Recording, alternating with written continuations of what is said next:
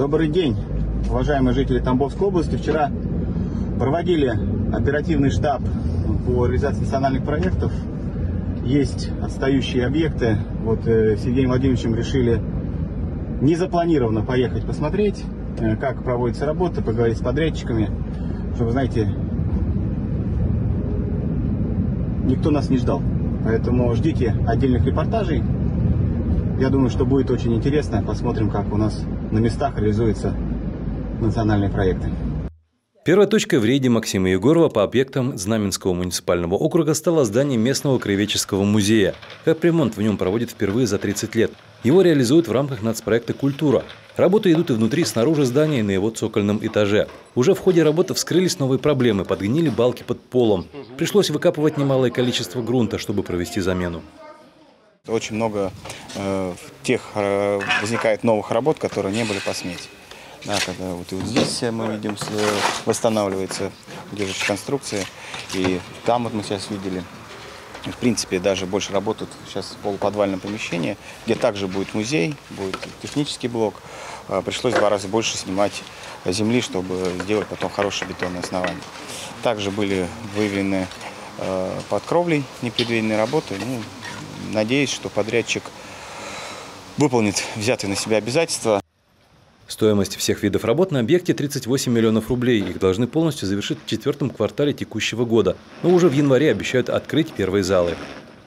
Здесь планируется установить все музейные комнаты. То есть здесь будет в полуподвале мы размещаем несколько экспозиций. Основные экспозиции по усадьбе – это первый этаж, где мы в круглом зале, и два зала прилегающих.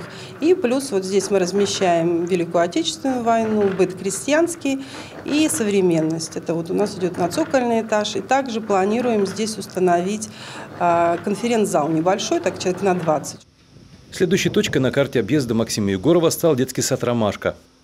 Детский сад «Ромашка» тоже должны отремонтировать в рамках нацпроекта. Буквально в течение двух недель его обязуются ввести в строй. Стоимость ремонтных работ более 60 миллионов рублей.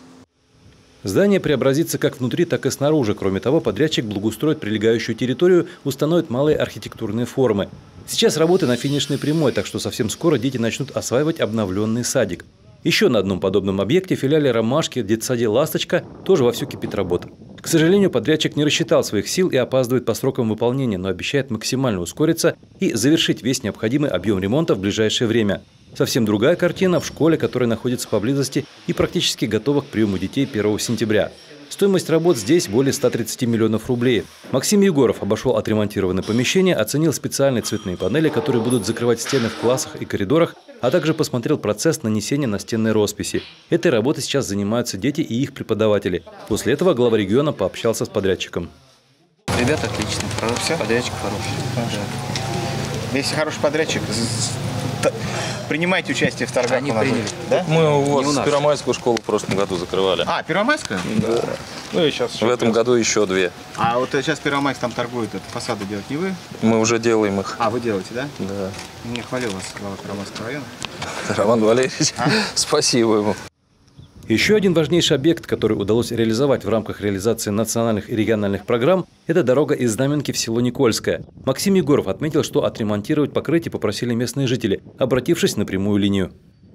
Дорога 3,5 километра, получили денежные средства э, в размере 60 миллионов рублей. Осталось сейчас нанести разметку, ну и еще обочины отработать. Это э, практически стопроцентное выполнение работы. Поставили также новые дорожные знаки. В завершении поездки Максим Егоров посетил главный стадион Знаменки, который сейчас тоже приводит в порядок. На нем реконструируют трибуны и беговые дорожки. На эти работы потратят 32 миллиона рублей.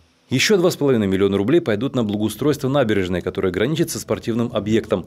Глава региона отметил, что будет и впредь лично контролировать ход ремонтных работ, которые реализуют в регионе в рамках нацпроектов.